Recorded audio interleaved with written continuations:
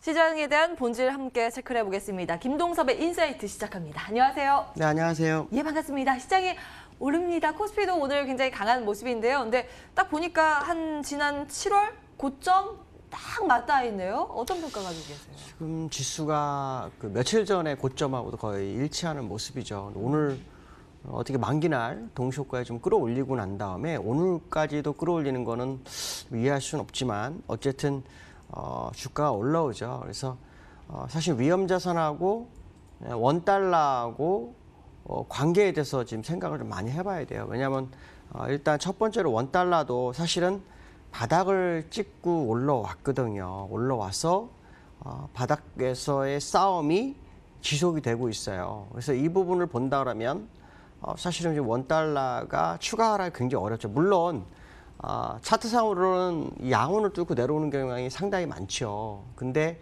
어, 지금 이 세 번째 디디는 그런 자리라고 판단한다면 이 자리가 어, 바닥일 확률이 굉장히 높다고 판단을 해야 되겠죠.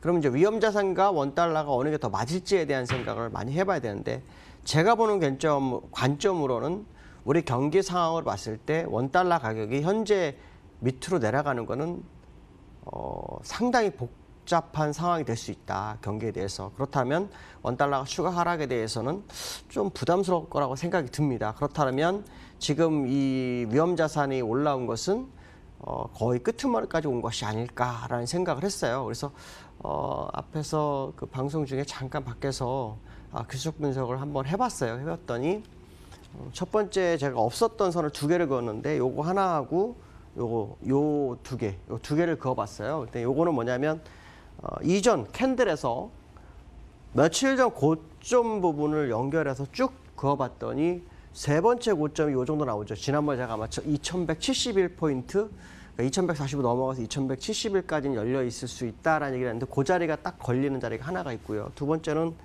후행 span으로 이렇게 one, two, three를 찍어봤더니 오늘의 그 꼭지점에 하나가 있고요. 혹시 이게 돌파가 됐을 때 갈 수 있는 공간이 요 정도 되죠. 근데 이 캔들까지 연결됐으니까 한 270일, 아, 2170일 요 전후에서의 상당한 싸움이 어, 지속될 수 있겠다라는 생각을 어, 해볼 수 있는 그런 공간에 있는 게 아닌가 이런 생각이 좀 들었어요. 그래서 어, 원달러하고 어, 위험자산하고 어느 게 오를 것인가에 대한 생각을 해본다 그러면 원달러가 맞지 않겠느냐. 또 원달러가 추가를 했을 때 아시겠지만 어, 11월 달에도 수출이 줄었잖아요. 그러니까 그 줄어든 수출을 어, 회복시키기 위해서는 수출을 증가시키든지 원달러가 올라가든 둘 중에 하나가 몇 개는 답이 없잖아요. 근데 지금 수출을 증가할 시기가 아니라 그런다면 원달러가 추가적 하락은 굉장히 어려울 것 같다. 그렇다면 결국 코스피가 일정 기술적으로 일정 부분까지 올라오기 위한 전략적 행보를 한 게 아닐까라는 생각을 해봐야 될 것 같고 특히 갭 상승이 네 개가 그대로 유지된 상태에서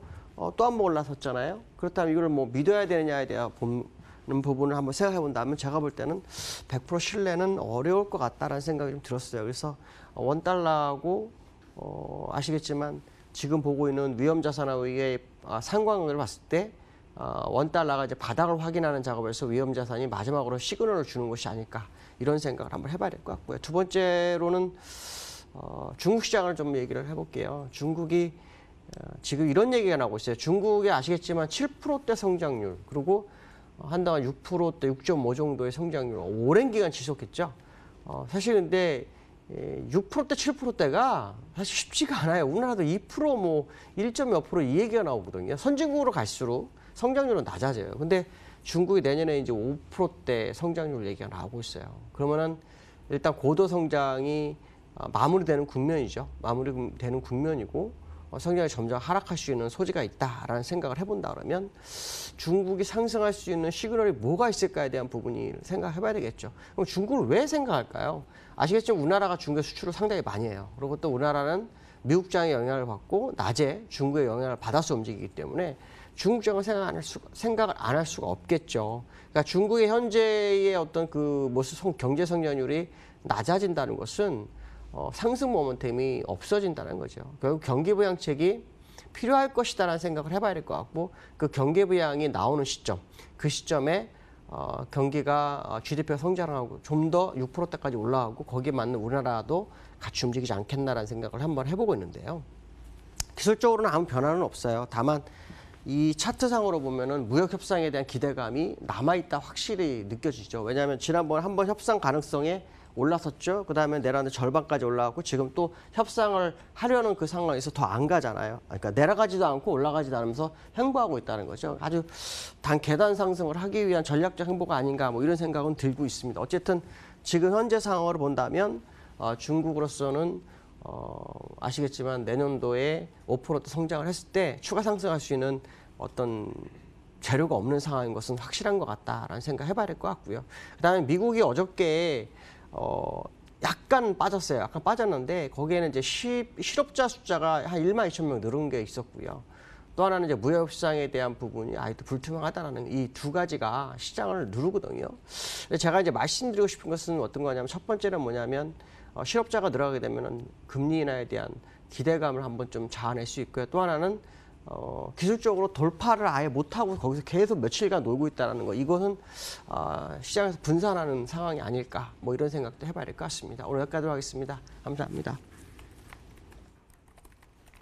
네, 시장이 여전히 뭐 강세권을 유지하고 있습니다. 대외 불확실성 지속되지만 이 종목별 수익률 게임은 여전한 모습인데요.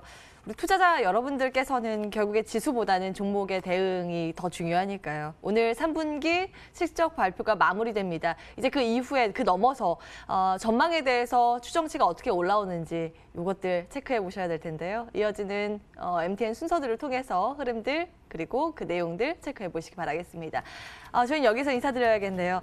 다음 주 월요일에도 활기찬 모습으로 찾아뵙겠습니다. 한 주간 함께해 주신 여러분 고맙습니다.